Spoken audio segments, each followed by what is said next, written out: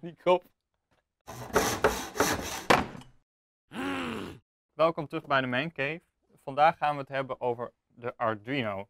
De, de Arduino eh, die gebruiken we in heel veel van onze projecten. We hebben laatst een koffiezetapparaat gebouwd waar je tegen moet schreeuwen.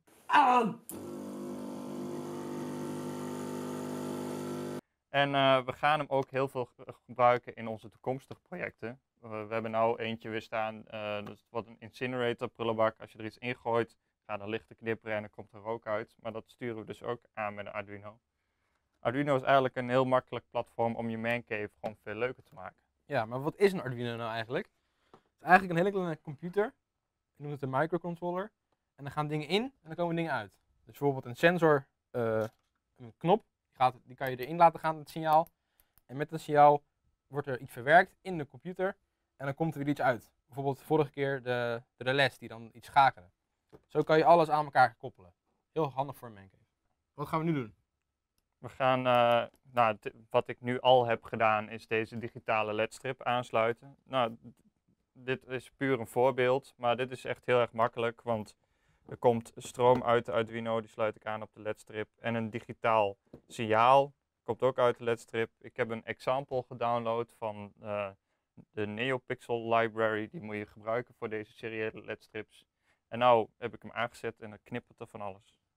Maar wij hebben natuurlijk al wel wat meer gedaan met Arduino. Dus wij eh, hebben een paar mooie tips om mee te beginnen. Inderdaad. Als je dus ook zelf thuis een disco wil met een mooie ledstrip, eh koop een Arduino. Belangrijk. Vergeet niet het breadboard.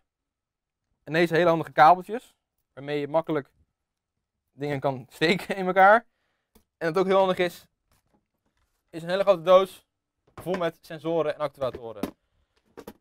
Dan kan je tenminste snel dingen pakken, aansluiten, uitproberen, testen en thuis gewoon leuke projecten doen. Dan kom je vanzelf eh, een beetje in, dat, in, die, in die sfeer van hoe je dingen, maak je dingen met Arduino's. Ja. En dan kan je gewoon oefenen. Ja, en eh, het is een heel goed idee om gewoon naar de Arduino tutorial sites eh, te gaan. We zetten een eh, linkje in de beschrijving. Gewoon dingen uitproberen. Wat ons is geleerd van doe vooral dingen fout. want daar leer je van. Nou, die componenten die zijn echt niet zo duur. Dus als je een paar ledjes laat ontploffen of dat soort dingen, daar leer je alleen maar van. Kortom, we raden iedereen aan om zo'n ding, zo'n ding te kopen. Koop die sensoren, ga ermee spelen, ga op onderzoek uit. En het is echt niet zo moeilijk. Iedereen kan het.